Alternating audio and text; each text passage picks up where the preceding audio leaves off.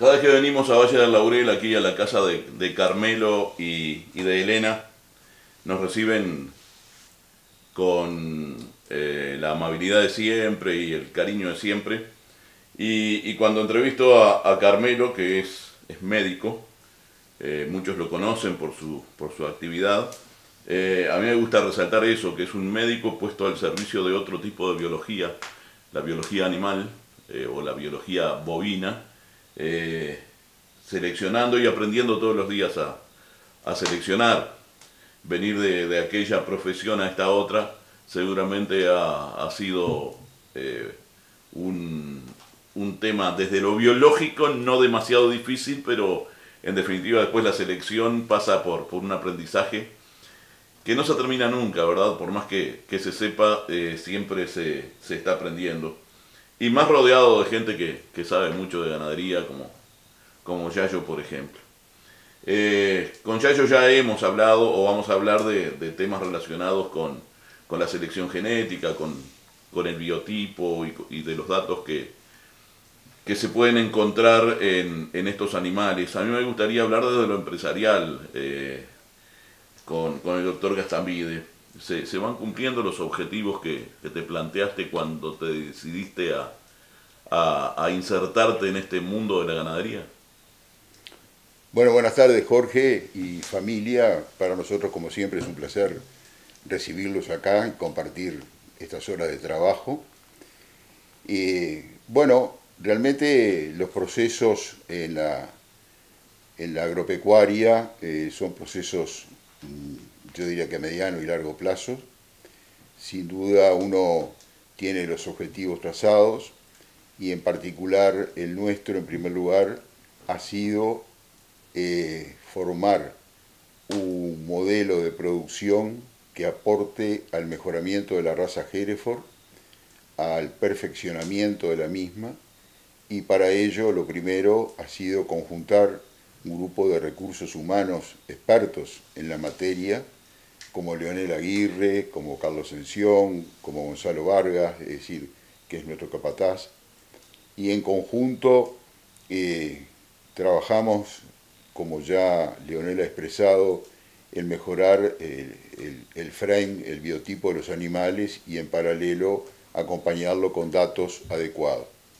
Y en ese sentido, entonces ofrecer un material a los productores que le permita eh, mejorar sus rodeos, que le permita mejorar la calidad de los terneros que producen, que le permita el menor tiempo posible eh, lograr eh, un retorno económico a sus establecimientos. Esto por otro lado significa indudablemente una inversión y nosotros felizmente el trabajo en la medicina, como decías tú, nos ha permitido a lo largo de 20 años que estamos acá en Marcial Laurel ir este, generando algunos ahorros que íntegramente lo hemos volcado a este proyecto, a este proyecto ganadero, que es un proyecto de producción de campo con ganado general y en él está inserta la cabaña. Y en ese sentido, como ya también ha sido mencionado por Leonel, hemos tratado de incorporar madres de distintas cabañas del país de muy buena calidad y la hemos cruzado con eh, eh, toros importantes, nacionales y extranjeros. Y fundamentalmente nos dio un impulso superlativo el utilizar eh, el, modelo de trasplantes de embriones. Nos ha permitido entonces en menos tiempo avanzar bastante y avanzar bastante e ir haciéndonos de un nombre en el mercado, en el medio, que es difícil, no es sencillo. Y bueno, y en materia comercial eh, es difícil decir que uno ya ha llegado, ¿no? Porque como hay una frase que decía un, viejo médico, llegar es detenerse, no nos detendremos nunca. Y no nos detendremos nunca, no solo del punto de vista de lograr objetivos económicos, sino como dije al principio, de eh, acompañar el desarrollo y la potenciación de, y el poder que tiene la raza Hereford. En todo ese eh, contexto que tú mencionabas, eh, ¿sienten ya que están compitiendo de igual a igual con eh, el resto de las cabañas Hereford del país? ustedes han incorporado muchísima genética precisamente para tratar de, nivelar, de, de, igualar eh, esas, esas características. ¿Lo vienen logrando? ¿Sienten que, van logrando ese objetivo? Eh, es una pregunta con un desafío y un riesgo en la respuesta que yo puedo emitir en este momento. En, en ese sentido, nuestro objetivo siempre ha sido, en todas las exposiciones que nos hemos ido presentando en estos últimos cinco o seis años, que cuando la cabaña creció más, es acompañar al nivel de la prueba y no desentonar con los animales que ponemos. Y por eso ha habido, eh, para ello ha habido una preocupación importante de todo el equipo en la selección de los animales. Y en ese sentido, yo diría que determinados objetivos en cuanto a tu pregunta concreta, si estamos a la par, yo no sé si estamos a la par, eso lo juzgarán los jurados de las pruebas, lo juzgará el público que ve las pruebas, eh, los expertos en la materia. Y los compradores del producto también. Y bueno, en cierta medida los compradores también. Pero lo que sí podemos decir que estamos satisfechos con algunos reconocimientos de distintos jurados en distintas exposiciones a nivel nacional muy importantes, como es la Expo Durazno, que se define como la antesala del Prado, como son en las, eh, hemos podido participar de las tres Expo Nacionales Hereford en dos, una en Melo y otra en La Valleja, donde nuestros ejemplares han sido distinguidos con premios importantes, y también en el Prado. El año 2019, por ejemplo, nosotros a veces repasamos los logros y realmente cuando uno está en la dinámica de tratar de mejorar, de producir, no se sienta a pensar un instante y valorar, pasar una red y decir, a ver, ¿qué, qué logramos exactamente este año? Y realmente el año 2019 para nosotros fue un año de, de mucho impacto en, el reconocimiento en las pistas. Y eso entonces, este, con varios campeonatos, en fin, eh, y eso entonces hace que nos sintamos satisfechos en el sentido que estamos en el camino correcto, estamos satisfechos en la calidad de los animales que estamos produciendo, pero no quiere decir que, que hayamos llegado ya al final del camino.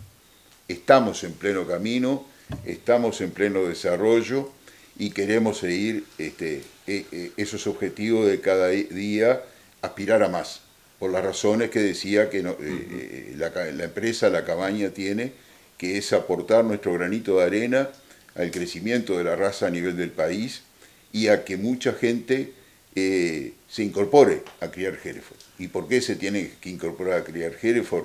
Por la calidad de los animales en cuanto a sus características este, y por algo tiene tanta historia. Eh, se están cumpliéndose a fin de año 75 años de, de la creación de la Sociedad de Criadores de Hereford, que lo vamos a celebrar en diciembre de este año con, con, alguna reunión, ¿verdad? Con los, con los este, jerefordistas.